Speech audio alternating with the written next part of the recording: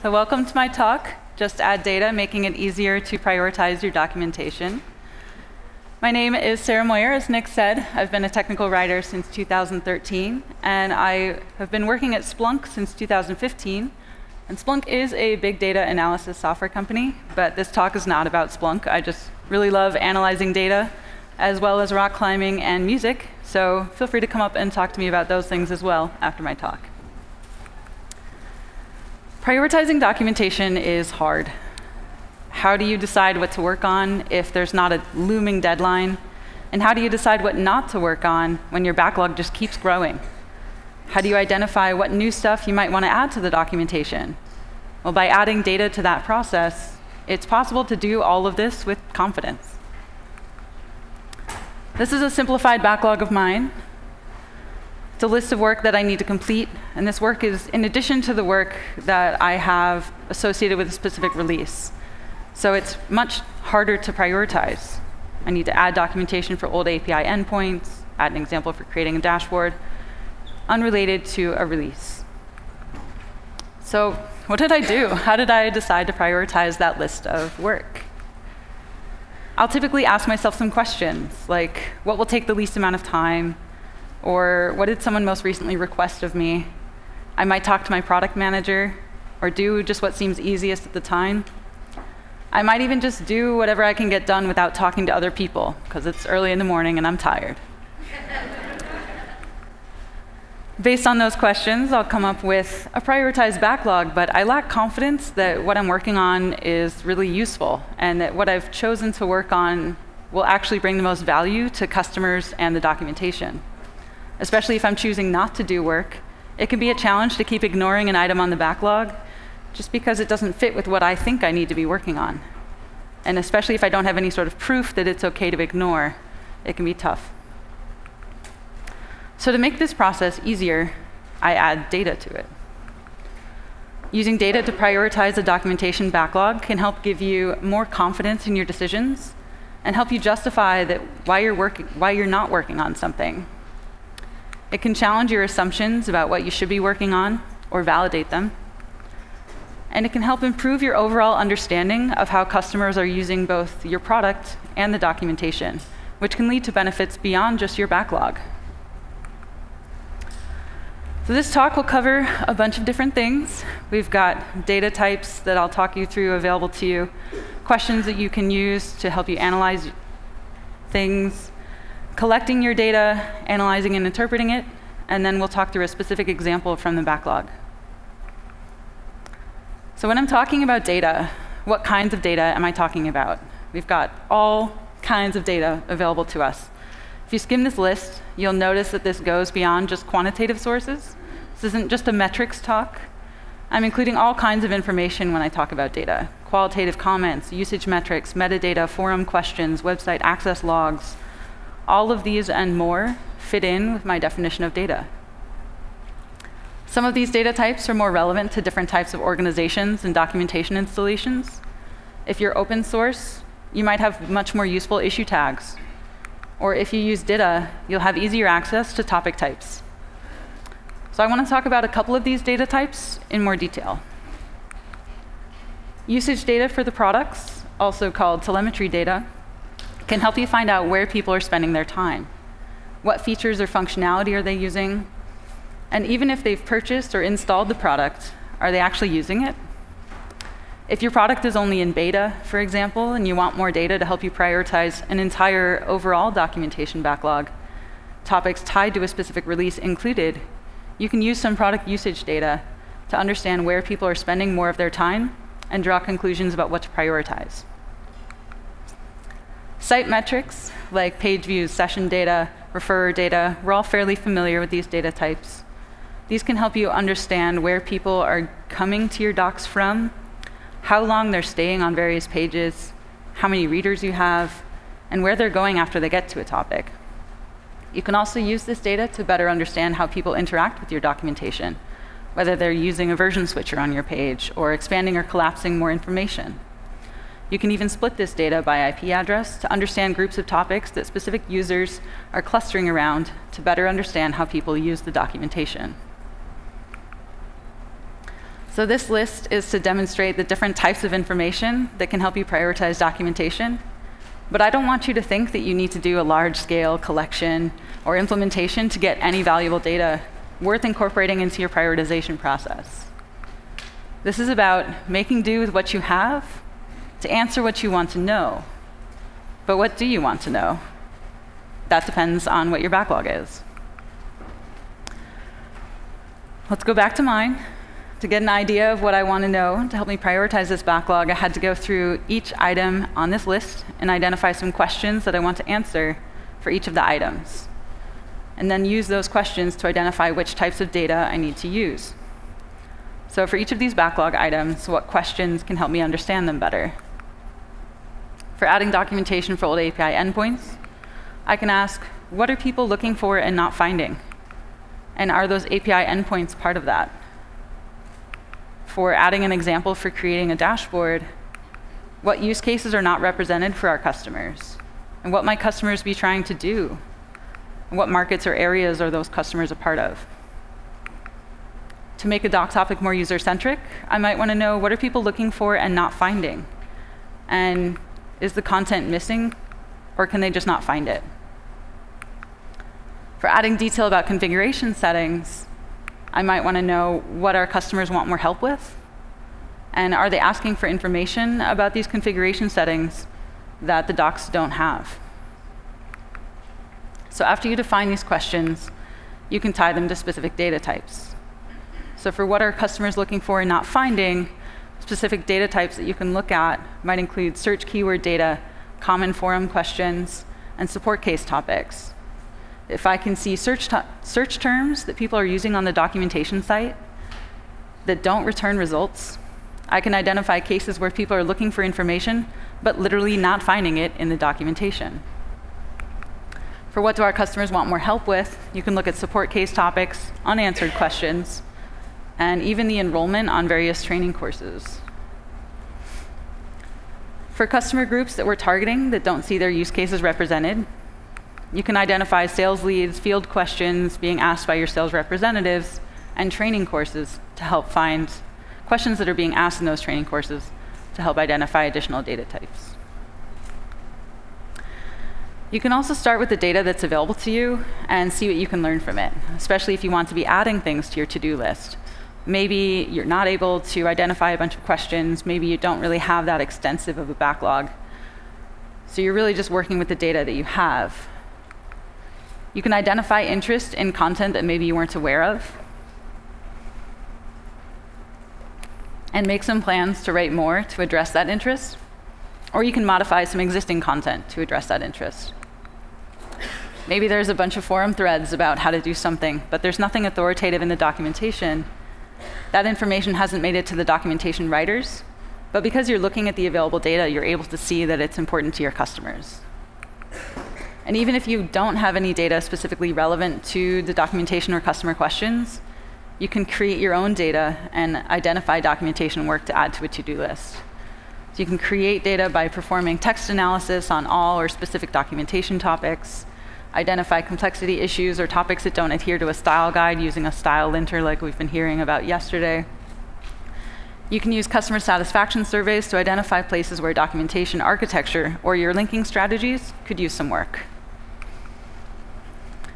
So now you have a better understanding of the different data types available to you and how you can identify these valuable data sources based on your questions for analysis. But how much data do you need to use? And how do you even get that data? And how do you analyze it and interpret it to actually do something with it? How much data do you need? You don't need all the data. You just need a little bit of data. You need enough data to point you in a direction. The point of data collection is to reduce uncertainty. You can use a small sample of users, a small sample of time, as long as it helps you answer your question and reduce uncertainty about what that answer might be Collecting larger amounts of data doesn't mean that you reduce, reduce uncertainty by an equally large degree. The amount of data that you collect doesn't correlate directly to what you're able to learn from it. If the question you're trying to answer with data concerns all the documentation users over a super long period of time, you'll be collecting more data than if you just want to know what a specific subset of readers found interesting last Friday. So you want to try for representative samples that are relevant for the questions you're trying to answer. And if you can't get representative data, then try for a random sample of data.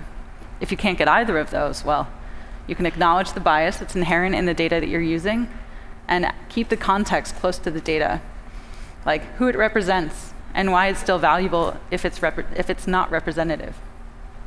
And you might find that collecting a small amount of data just leads you with more questions than answers, and that's okay too. But how do you get this data? By and large, you'll either be collecting your own data or asking others for it. If it's data about the documentation site or its content, you probably own that yourself and already have access to it. And if it's other types of data, like sales leads or user research data, it's time to make some friends, talk to the departments or people that manage those areas, a business development department might have reporting on internal tools like sales leads or support cases. Product managers can share direct customer data and product usage data if you don't already have access to it. And project managers can share data related to internal development processes. So the teams managing different data sets will vary at your organization and might even be you in many cases. Other teams might be reluctant to share data with you. So with that in mind, remember that when you collect data, you don't need persistent access to it.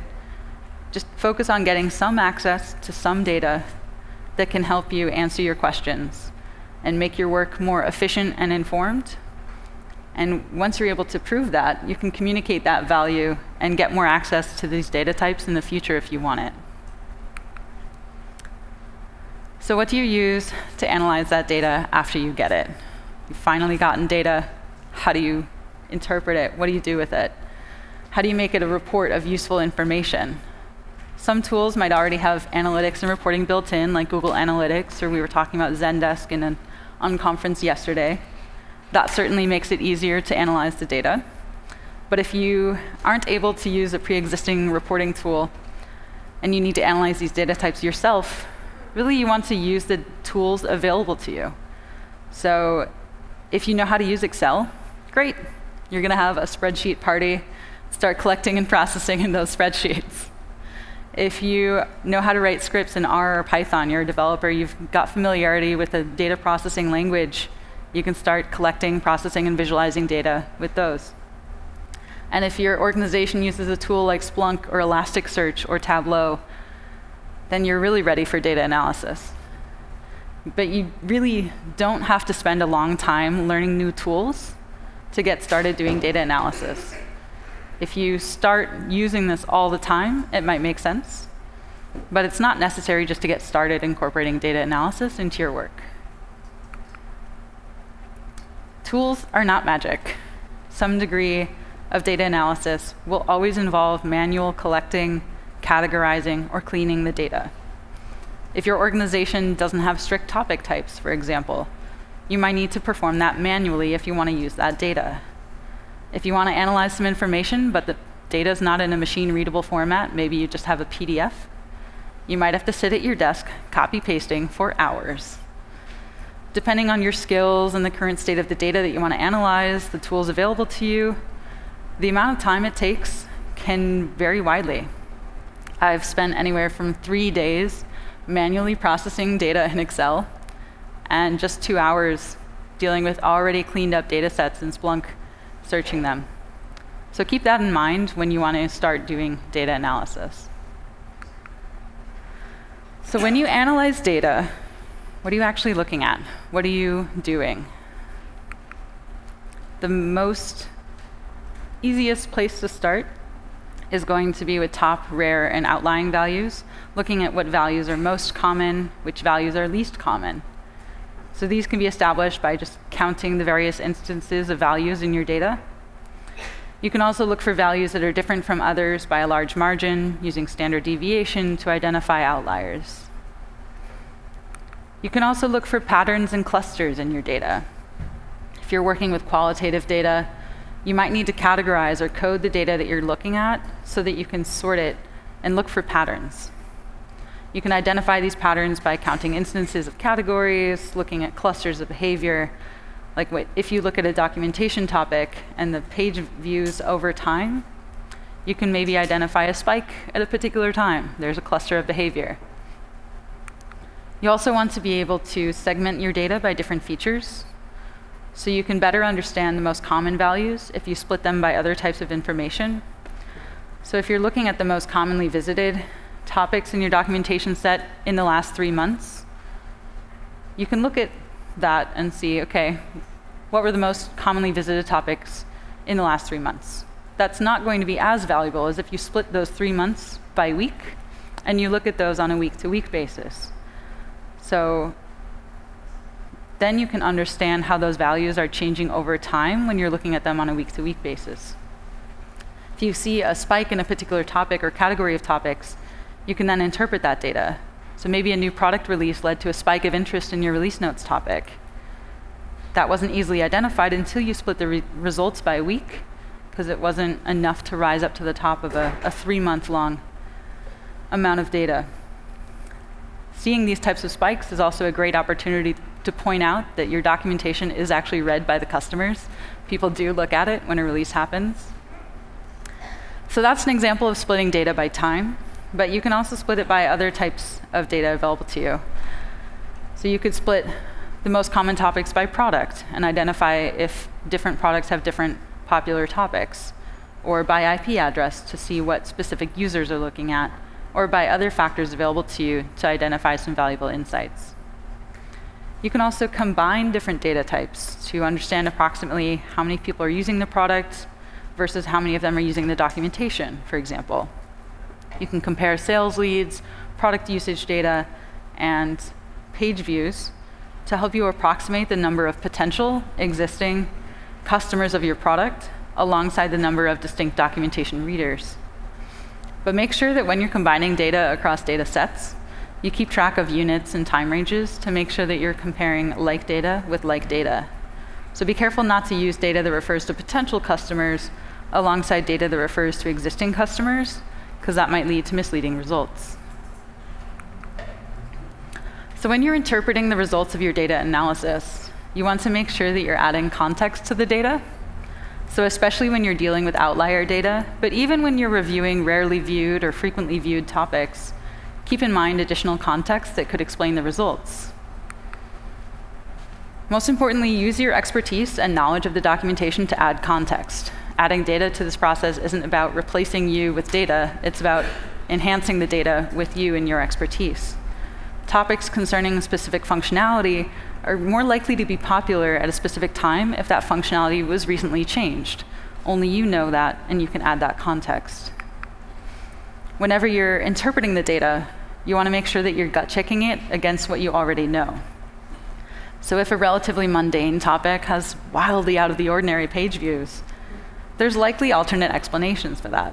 So maybe your topic just ended up being an excellent resource on cron syntax in general, even for people that don't use your product. You also want to be cautious when you're aggregating your data. So if you're aggregating data, say with an average, you want to make sure that you fully understand what that aggregate represents so that you can accurately interpret it.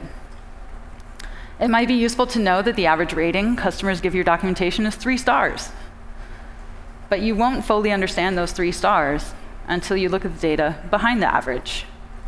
So if you have a three star rating because customers are consistently rating your documentation three out of five stars, that might mean you want to improve your overall documentation quality. But if you have a three star rating because customers are rating it either five stars or one star consistently, maybe you have a style issue. Or maybe you have an audience targeting issue and it's super helpful for some customers and super not helpful for others. Either way, you can't rely on aggregate values to tell you everything you might need to know in order to interpret this data accurately. You want to draw realistic conclusions based on the data available to you. You might not be able to get access to or combine specific data sets due to privacy concerns. But if you carefully identify what problems you're trying to solve, select only the data sources that can help you solve those problems, you can reduce the potential that you'll introduce bias into your data analysis and that can improve the conclusions that you're able to draw. Most importantly, if you take nothing else home with you, don't trust data blindly. When reviewing data that seems out of the ordinary or outliers, examine the different reasons why the data could be like that. Who does the data represent and what does it represent making sure that you're interpreting that data in context so that you're able to understand exactly what it represents. It can be tempting to ignore data that doesn't match your biases or expectations. But remember to use data to complement your research and writing. It's validating or challenging assumptions about your audience. It doesn't stand alone. This is everything we've covered so far. We've made it. We've talked about data types, questions for analysis, but let's talk through a specific example. What does this actually look like when you put it into practice? So again, back to my backlog. These are all the items that need my attention, but let's talk about how I would use data analysis to learn more about how to prioritize these old API endpoints. I have this backlog item about adding documentation for old API endpoints, services disable and services enable endpoints. An internal engineer noticed that they were missing, but the endpoints have been undocumented for a while. Talked to some colleagues, discovered that they just missed them. It wasn't an intentional decision, they just forgot about them, or never knew about them, more likely. So I want to understand more about the customer needs so that I can prioritize this work alongside my other work. The question I'm trying to answer is what are people looking for and not finding, and are these endpoints part of it? So in this case, this question is Are people looking for these endpoints? I need to identify the data sources I can use to answer this question. And how do I find those? Well, where are people looking for information? They're looking at the user community. So check some forum data that you have access to. This can be internal and external forums. We have an internal forum at Splunk, but Stack Overflow and Reddit count just as well. They'll also ask search engines, so anywhere you might have search keyword data can be useful to look. They'll also ask for help from support. Sometimes people talk to people. So you can use support case data. And these are three potential data sources that you can use to collect this information. So after you've collected that data, what do you look for in those data sets? You're not just looking at the exact name of the API endpoint you want to find, but also some variations like API endpoints info, just services endpoint info, how to enable or disable services, and the specific endpoints as well. Interpreting the data can be more straightforward. Excuse me. If you're able to view,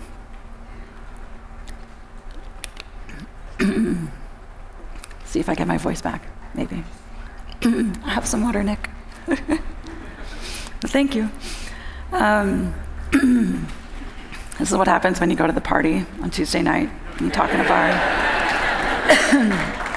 Pardon me. Okay, it's back. All right. So interpreting this data can get more straightforward if you're able to view. Thank you. Now I have two.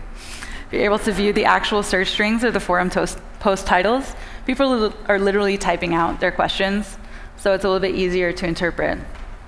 You want to make sure that you're gut checking the strings that you review in terms of verifying that people, oh, I went back, in terms of verifying that people are actually looking for information about API endpoints and not just how to enable or disable services from the UI, for example.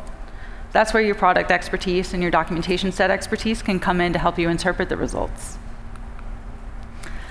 So now I've collected and analyzed the data for the old API endpoints. And I've done that for all these other backlog items in secret because this talk is only 30 minutes long. I'm ready to prioritize my work now using data. I was able to reduce my uncertainty about my pre-existing prioritization process as a result. So let's see where that got me. All right. This is my prioritized backlog now that I've added data. In reviewing this data, there were lots of questions about how to do something that's documented, but clearly people were not finding that information. It's content I already knew could be more user-centric. It was already on my backlog. And there were a large volume of questions that could be answered by that topic, so I chose to do this first. My analysis also led me to see that people were posting about the API endpoints that were undocumented in the forums, they were also searching on the developer documentation site about how to call the endpoints. So I knew there was interest in that specific information, so I chose to prioritize that second. Based on the data available to me, I couldn't sufficiently answer which use cases were not represented for customers. So I looked at sales lead data. I looked at data from my product management team, and I discovered the products being sold to customers in the financial services industry, but I don't know if those customers actually are going to be creating dashboards or what sort of dashboards they might be creating if they were. I'm also able to determine that it's not worth it yet to add detail about configuration settings. So I've left that at the bottom of my prioritization list. This also gives me the opportunity where if someone asks me why I chose not to work on this, I actually have something to tell them. I have specific data analysis that I can point to that says, here's why I'm not doing your pet project and why I'm not documenting this thing in hyper detail. It's because customers are not looking for it. I can share this data or insights with them. And if I screwed up, if I missed something or misinterpreted the data I had access to, then they can share additional data or insights to let me know why I'm wrong. Or then they'll realize I put in a lot of work to understanding the customers and their problem, and they'll trust my judgment even better. So now it's your turn. You can add data to your prioritization process by following these simple steps. Start by identifying the questions that you're trying to answer based on your to-do list. Then you can use the data and tools available to you to analyze and interpret that data and prioritize your own task list. Now we'll let you all take photos. Pause for the camera. so some additional resources available to you. You can reach out to me on Twitter. I've had my handle at the bottom of all of these slides. Uh, I'll be publishing a blog post two blog posts that talk more about the data types in detail, uh, as well as a summary of this talk. Those will be linked on Twitter as well. The Product is Docs book is a book that Splunk wrote. It's not a plug because we donate all of the royalties to charity. There's a chapter in there on measuring success. The How to Measure Anything book by Doug Hubbard is where I stole this concept of reducing uncertainty as being the primary cause of uh, doing data analysis. And Bob Watson also has some helpful posts on docsbydesign.com about measuring value. And Erika Hall has a book called Just Enough Research that's all about how to know when to stop doing research and collecting data. I'll also be doing an unconference this afternoon right after lunch if you want to talk about data analysis for documentation. Thank you.